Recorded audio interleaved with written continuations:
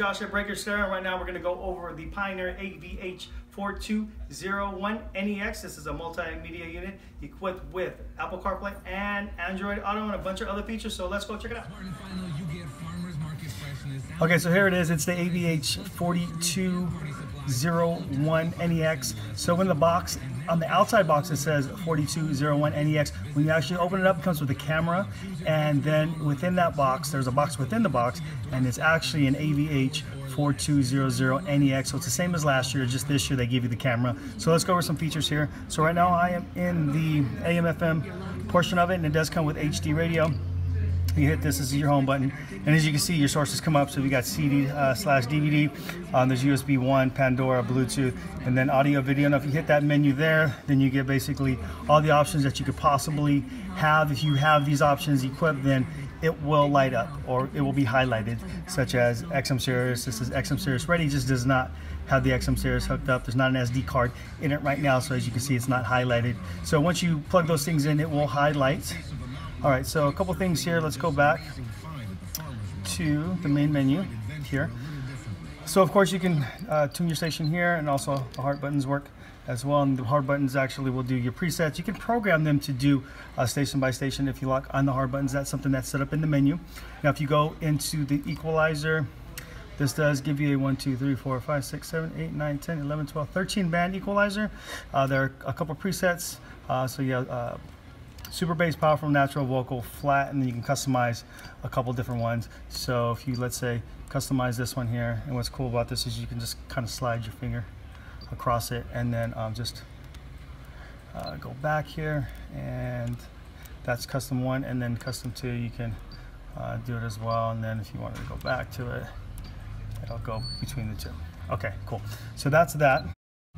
And then also let's go back into the main menu and if you my Bluetooth was hooked up, I can obviously just hit Bluetooth. I don't think I'm hooked up right now. And then if the Pandora is hooked up, so how it works is if it's with a iPhone, you have to have it plugged in in order for the Pandora to come through. And as you can see, you get some art there, and then it'll tell you the um, the artist and the song that's playing. You can also go to search, and then all the all my stations, all your stations will populate here and then it'll, it'll play. Now, if it's on Android, you can use the Bluetooth uh, to hook it up via uh, Pandora, or you can hook up, I should say, you can hook up Pandora via Bluetooth. Opposed to with the Apple product, you do have to have it plugged in. But anyway, you probably won't want to use that because the CarPlay is much cooler. So let's get into it. So if you go to CarPlay, all right, so these these are the icons that pop up. Every phone, your music, uh, the maps, the uh, text messaging. Um, if you hit that button, that takes you back to the Pioneer menu. Podcast, audiobooks on this phone. It has Amazon Music and also Pandora. So Pandora's a little nicer on here. So as you can see, on the radio stations, the art does come up.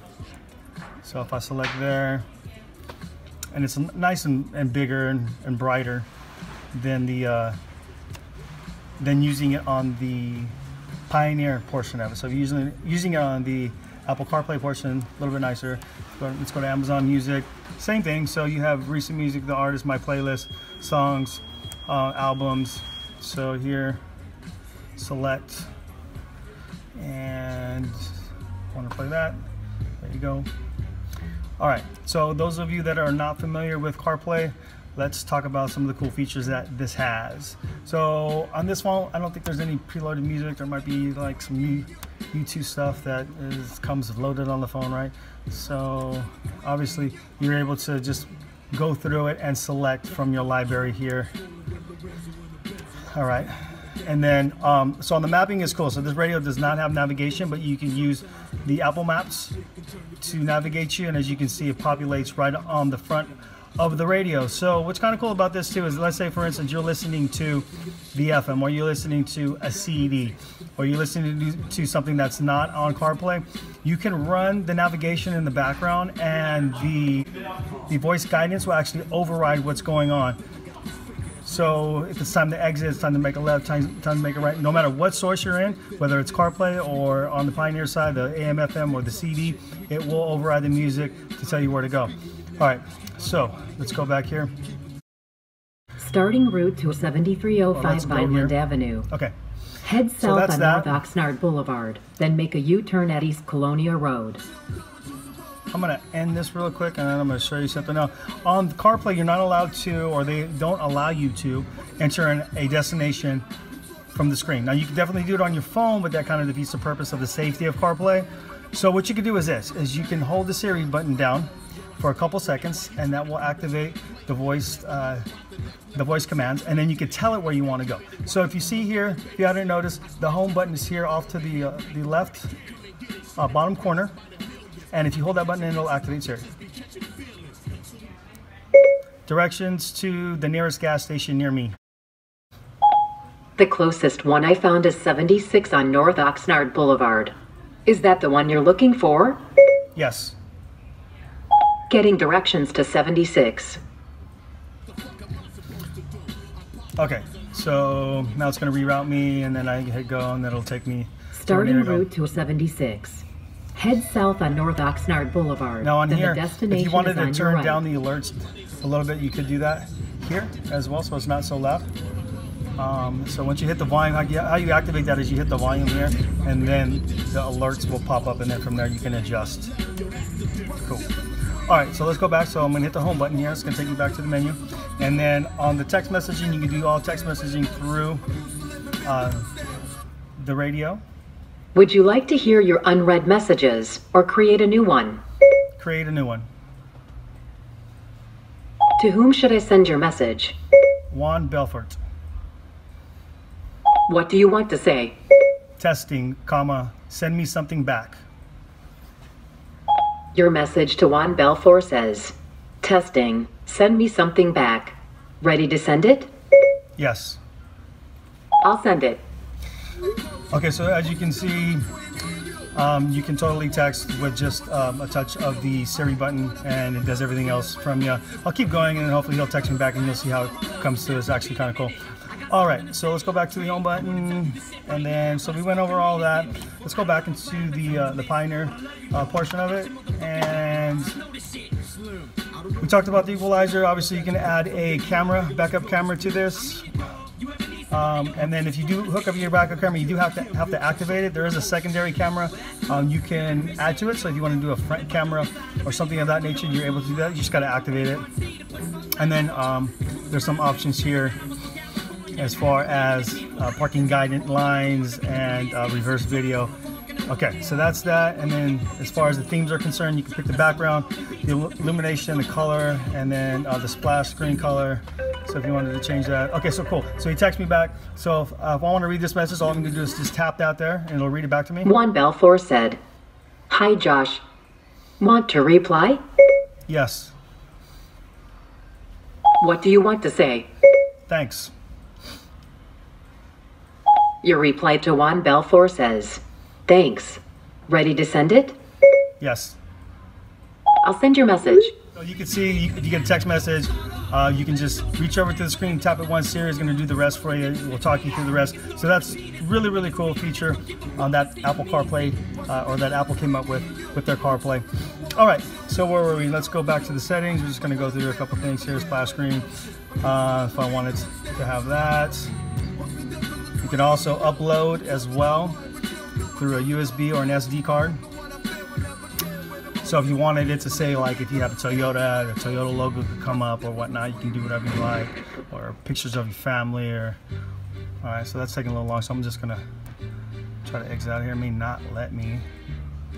Okay, there you go. So we're good. So now uh, to sound, we talked about the equalizer already. Uh, on here, there's a subwoofer. If you have a subwoofer, you have to turn it on or off, um, depending if you have one or not. And then the crossover. So let's talk about crossovers. So on this radio, you can use the crossovers to either hook up to your aftermarket amplifier or if you don't have an aftermarket amplifier you can still cross over the speakers that are hooked to the power of the radio which is kind of a cool feature so let's say you wanted to add some bass but not too much and you wanted to uh, not have to buy a secondary amp, four channel amp, for your inside speakers. This will allow you to remove a lot of the bass through the crossover system. Show you how it works. So right now, uh, let's go and turn it on. All right, and that's the front, and we're going 63, and then then you can select the the slope. All right, all right. So so that's the front. You can also select the rear um, in the same way. So if you wanted to do the rear, oh, you gotta turn it on first. So turn it on, and then you pick the the uh, frequency you want to boost, and you do that by going like this, or not boost, I should say, cut off. So let's say we're at one at 160 and let's go 12 dB. And then on the subwoofer, uh, let's say we want it at 80. That's normally where we, we set it. And 12 dB. There you go, 80 and 12 dB. This way. Cool. All right, so that's how that works. So that's a cool feature to have, especially if you don't have a amplifier. All right, so let's go back. And if you do, then it just gives you the ability to, to control it at the radio opposed to at the amplifier. All right, so that's pretty much it. It also does have time, time alignment. It's got some preset listening position. So um, as you can see, that these are just preset here 47 inches from the middle of the speaker to the headrest and here 61 inches from the middle of the speaker to the headrest. Now if you really want to get an accurate uh, uh, measurement then obviously you would just go into your vehicle take a tape measure uh, measure from the center of the the speaker and then all the way up to the middle of the headrest is where I normally um, measure from and then you just do each corner right there. So that is how that is done. If you do it correctly it can sound pretty awesome. If you don't do it correctly it, it can kind of be funky and I've done it where I've used it and done it correctly and it doesn't sound so good. So you know it's all preference. Each car is different each and each car has different phasing so just keep that in mind all right, cool. All right, so that's that. That is the Pioneer um, AVH 4201 NEX. And I think I've got the backup camera hooked up to this. Oh, actually I don't. Um, but anyway, when you when you go to the you hit reverse, it goes to the uh, the backup camera. Uh, right now the camera's not hooked up, but it does interrupt it when I hit the switch here. Okay, that's that. Let's talk about Android Auto. Okay, so let's go over the Android Auto feature on this radio here. So this is your home screen. If you hit this, this goes to your navigation and in Android Auto, it uses Google Maps. As you can see, then you have your phone call button that'll take you back to the home page and then also uh, your music. All right, so let's go really quick to the navigation, show you how that works.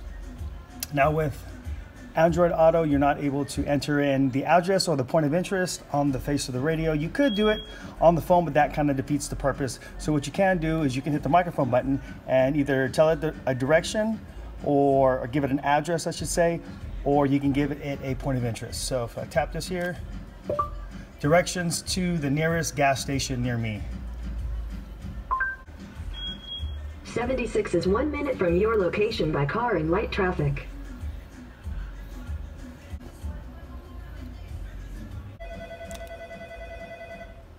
All right, there, and it'll take me right to it. Okay. Let's go back to the phone calls here. And so as you can see, this is a list of the history. Uh, if you tap that there, uh, then you can go to the voicemail, dial a number, uh, call history, missed calls, uh, things of that nature. All right. And then again, that takes you back to the home. And then if you got music, it'll play your music. All right, you tap that there, and then it'll give you a listing of music that's available.